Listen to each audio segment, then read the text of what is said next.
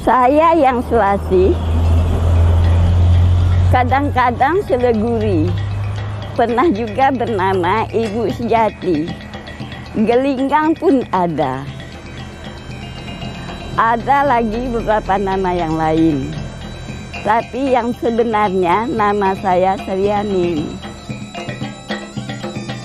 Dilahirkan di desa Sinurut Koto Panjang, daerah Pasaman, Sumatera Barat pada tanggal 31 Juli 1909, Selasih, anak kedua dari lima bersaudara dari ayah Laur, seorang guru ngaji dan ibu Jalisa, termasuk angkatan pujangga baru dengan memakai berbagai nama samaran terutama nama-nama bunga seperti Selasih, Seleguri, Sikejut, Gelinggang, Dahlia,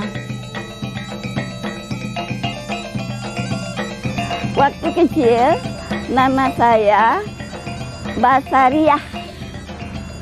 Entah apalah yang, yang dimaksud mereka dengan Basariah itu.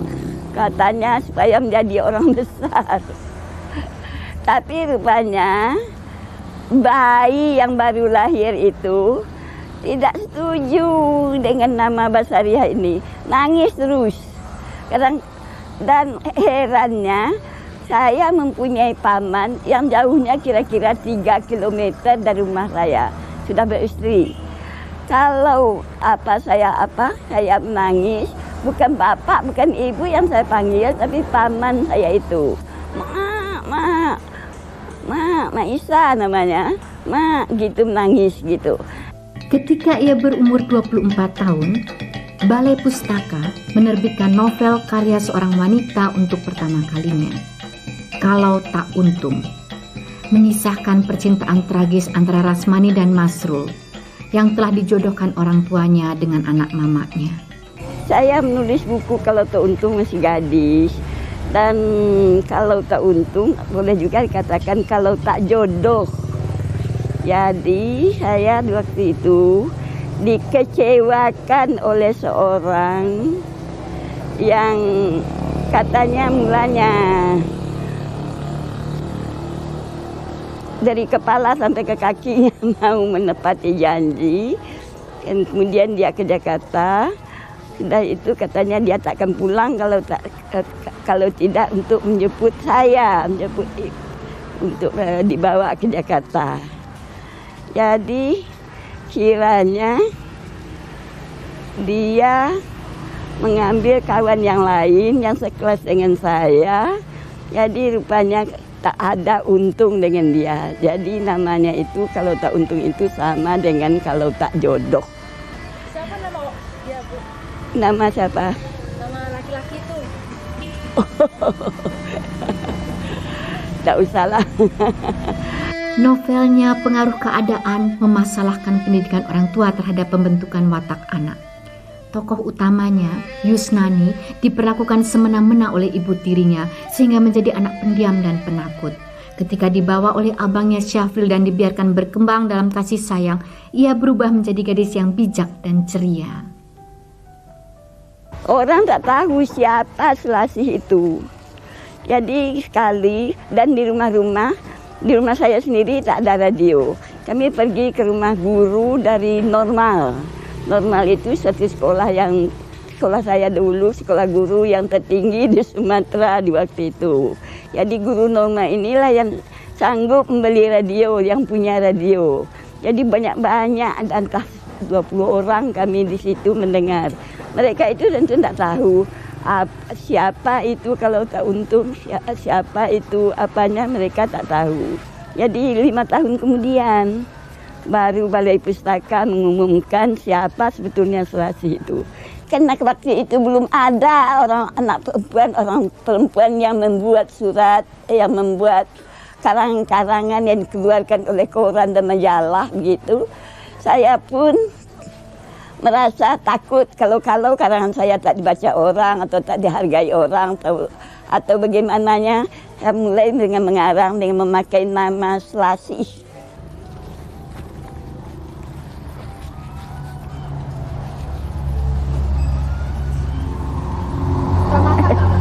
Menjadi saku juga kena jasa. Hah? masak enggak? Apa masak? Enggak masak. Dapur. Ibu tidak pernah masak. Masak nasi seperti pun tidak pernah.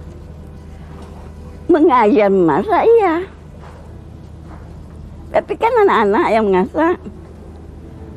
Anak-anak yang masak. Nggak dia masak di sekolah nggak dia masak. Resep tahu, bikin resep bahkan menjual resep, menjual buku resep. Jadi kata anak-anak anak-anak kita di rumah, ada mak itu tahu teori tapi. Dia itu orang teori. Karangannya yang pertama berjudul Betapa Pentingnya Anak Perempuan Bersekolah. Ia menekankan bahwa seorang perempuan harus pandai membaca dan menulis dan tidak cuma diajarkan memasak, berdiam diri di rumah, mempersiapkan diri untuk hanya mengurus rumah tangga. Bagaimana kami akan membesarkan anak kalau kami orang bodoh? Bagaimana kami akan mengurus rumah tangga yang baik kalau kami tak tahu suatu apa? Bagaimana kami akan mengetahui keadaan-keadaan di luar negeri kalau kami tak pandai baca tulis? Bagaimana macam surat dari suami kan diperlihatkan kepada orang lain, dibacakan oleh laki-laki lain. Surat dari suami kita sendiri. Wah, alangkah miskinnya kami ini, alangkah rendahnya derajat kami ini. Kami ini ibu. Saya berpendapat bahawa Ibu Suryami ini dalam bukunya selalu nak mengangkat wanita. Kami di rumah sudah terbiasa dengan tidak ada ibu di rumah. Eh, sekarang mungkin dikatakan sebagai wanita karir ya, ibu pada zaman itu tidak dikatakan sebagai wanita karir tentunya. Eh, kemudian selain itu saya juga ingat bahwa saya tidak pernah dimandikan oleh ibu. Kesadaran Selasi atas masalah-masalah yang dihadapi kaumnya dan panggilannya sebagai pendidik menyatu dengan kental dalam tulisan-tulisannya yang konon ikut menghidupkan api dalam jiwa perempuan di wilayah Hindia Belanda. Lepas sekolah Mrs. Normal School Padang Panjang, Selasih mengajar pertama kali di Volkschool Bukit Tinggi yang sampai hari ini masih ada. Ia aktif berorganisasi di Serikat Kaum Ibu Sumatera, Frauenbond, Mrs. Kring, Young Islametenbond. Ia menjadi penulis tetap dalam majalah Asyarak yang kemudian bertukar nama menjadi Suara Kaum Ibu Sumatera. Juga dalam harian Pasaman ketika ia pindah kembali ke Padang Panjang. Ia menulis tentang berbagai hal, adat istiadat, resep makanan, masalah-masalah sosial, dan politik. Karangan-karangannya yang kadang memuat kritik yang cukup keras dan pedas menjadi sorotan PID, Badan Pengawas Keamanan. Media-media di mana ia menulis membayar denda karena melindunginya. Kadang ia menulis dua atau tiga sekaligus dalam satu terbitan. Maka nama samarannya pun banyak.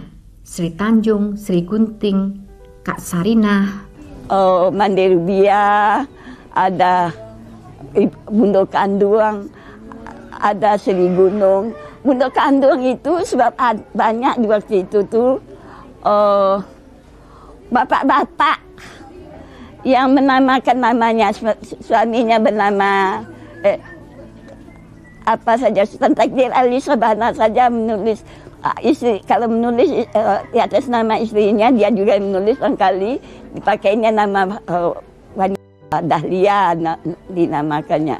Jadi, supaya apa?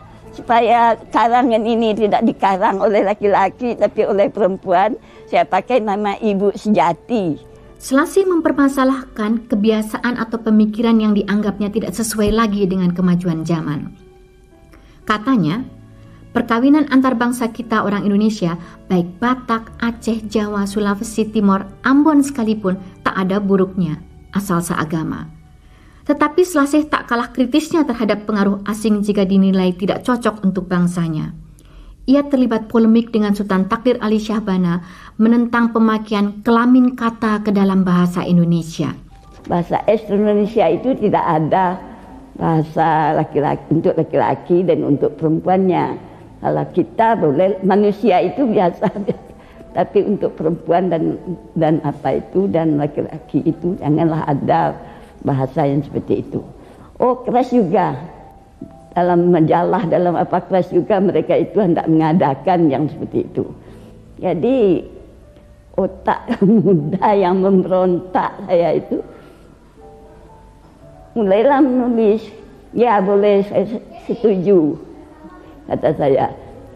Sekarang akan diadakan kata-kata pemuda, pemudi, pembaca, pembaji, pengarang, pengaring. Selasih yang waktu itu belum pernah keluar Sumatera, sangat luas wawasannya. Ia senantiasa menulis, tidak berhenti sampai ia berumur 80 tahun. Wa ulaika humul muflihun. Innalladzina kafaru. Di Padang Panjang ada beberapa rumah yang didiami oleh pelacuran gitu. Biarpun tidak nyata tapi rakyat sudah tidak bersenang hati karena banyak yang mengetahui siapa yang naik rumah itu dan siapa yang diam di rumah itu. Jadi hal itu sangat buruk untuk kota Padang Panjang yang begitu yang pernah dikatakan Serambi Mekah. Bagaimana alimnya, bagaimana apanya orang situ, bagaimana taatnya kepada agama. Sedang pelacuran-pelacuran itu ada diadakan juga di situ. Bahkan diberi rumah. Jadi saya buat dalam kabar persamaan kalau tidak salah dengan nama si kejut. Ya, dan usaha si kejut itu rupanya berhasil. Saja itu tidak ada lagi peracuan-peracuan itu sana. Entah di mana tempatnya, tidak tahulah saya. Si kejut kalau kita jalan, daunnya itu layu. Kalau kita uh, terus, daunnya itu segar kembali. Putri malu ya? Putri malu ya. Filmnya habis cut dulu. Inilah bentang-bentang film itu. Ah, begitulah. Nasibnya. Kesal betul terhadap anggota pesanan di Minangkaburat. Karena orang dia di situ sebagai apa? Sebagai anggota yang harus mempertahankan daerahnya dengan baik dan harus memperkatakan kekurangan daerahnya dari daerah lain yang lebih maju di Padang, Tinggi dan Padang Panjang sebagainya. Tapi dia pergi menjadi anggota, duduk-duduk orang berkata di hilir, dia mengangguk ke hilir. Orang bertanya di mudik, dia menggeleng ke mudik. Dengan tidak memperhatikan daerahnya, sehingga hasil dia duduk di dewan di waktu itu tuh sama sekali tidak terlihat di daerah Pesanan. Nenek tuh orangnya gigih gitu. Ya apa apa yang menjadi anggota dewan seperti itu. Kelelahannya untuk mengangguk-ngangguk begitu semua orang pandai. Uh, pantang menyerah gitu orangnya. Ditulis ya ada di surat-surat kabar gitu. Tapi karena nama saya itu bermacam-macam, nama samaran, tidak dapat ditangkap. Karena orang yang apa itu memasukkan ke dalam apa itu sering di apa bayar denda mereka itu. Kadang-kadang sampai 9 rupiah di waktu itu. Membayar denda, itu banyak 9 rupiah. Sase pernah pula masuk penjara, dituduh terlibat PRRI. Pendeknya dianggap pemberontak. Dua tahun di dalam, setahun di luar. Saat itu, suaminya, Ismail, seorang simpatisan yang mensuplai obat-obat kepada para pemberontak. Tapi karena dikenal aktif berorganisasi dan giat menulis mengeritik macam-macam masalah, Selasih mudah disangka ikut terlibat langsung pemberontakan PRRI. Bertemu dengan Bapak, sesudah Bapak membuat surat ke saya mengatakan mak telah menerima dia sebagai untuk menantu. Saya di waktu itu tuh umur 30 belum kawin, 33 ya belum kawin. Jadi sudah kasihan pula mak, mak ini diketawakan orang di kampung anaknya seperti tak laku gitu macam-macam lah. Jadi akhirnya menyerah kepada uh, pilihan ibu saya. Orang ini, Pak Isma- Ismail ini, tidak mendekati saya sedikit pun tidak. Jadi ah cinta dan kasih itu dapat nanti kemudian kalau dia baik ya baiklah kalau dia kalau kalau dia tak baik putuslah begitu saja. Selasih lalu mengikuti suaminya pindah dan menetap di Pekanbaru, melahirkan dua anak mereka, Suryati dan Tini. Perkawinan itu langgeng sampai suaminya meninggal tahun 1981.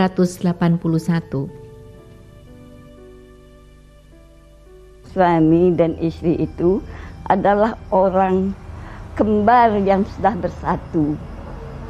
Tapi suami itu adalah seperti kakak yang harus dipandang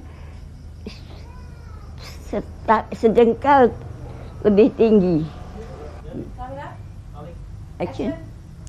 Cinta yang suci. Ku cintai Kanda sepenuh hati dengan cinta ibu yang maha suci.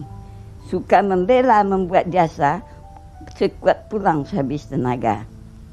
Biarlah yang nyawa di badan, ataupun karam tengah lautan, biarlah habis harta dan benda, dikak penembus jiwa ke kanda. Jika dalam majalah dan koran, Sari Amin banyak menulis tentang etiket pergaulan sebagai pegangan perilaku untuk wanita, dalam pengaruh keadaan ia justru memajukan tokoh Yusnani yang pada akhirnya menjadi gadis yang bebas bicara dan tak tunduk pada aturan sopan santun adat yang berlaku. Apa kabar Nurmanis Bang? Neneknya, ayah, Rosniar, Ani dan yang lain-lain? Adakah senang saja mereka? Ada perubahan di kota raja? Siapa menggantikan abang? Masih di sana Tuan? Hai, hai. Jangan sebanyak itu pertanyaan, kata Syafruddin dengan tertawa memotong percakapan Yusnani. Bagaimana kata abang akan menjawabnya sekaligus? Satu-satu tanyakan dan tinggalkan setengah untuk nanti malam dan besok. Karena kalau boleh abang tidak bermalam di padang ini. Kalau abang tak salah, orang cara sekarang bertanya dimulai dengan menanyakan hal orang tempat bertanya, bukan hal orang lain. Itu cara adat. Saya? Saya tak tahu adat. Hal abang telah tampak oleh saya, kuat dan sehat rupanya. Mata abang menunjukkan abang berbahagia. Yang lain tak perlu saya ketahui. Kalau abang ingin juga bertanya cara adat itu, pergilah tegak ke sana kembali. Yusnani menunjuk ke tempat Syafruddin berdiri tadi. Dari situ boleh abang terus berjalan ke perhentian oto.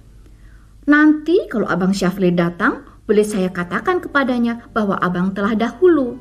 Bahwa saya ada melihat abang tetapi tak berani menegur karena tak adatnya anak gadis menegur orang muda dan abang tak ingat pada saya.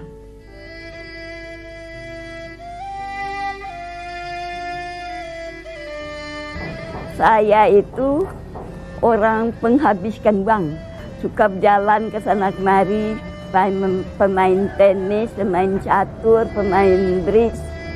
Jadi suka membeli barang-barang itu, suka pergi dengan kawan-kawan, suka traktir ke kawan-kawan dengan yang yang ramai karena kita orang suka mentakdir kita sekali-sekali tentu kita harus membalas. Jadi itu memerlukan uang. Ya hendak-hendak itu kan dapat dijual. Karena itu yang saya dapat dari nenek.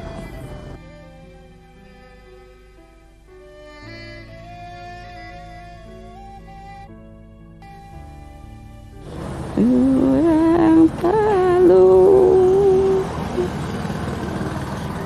kami pasanya ya orang talu sayang. Kami de anak kami de anak si orang kaya.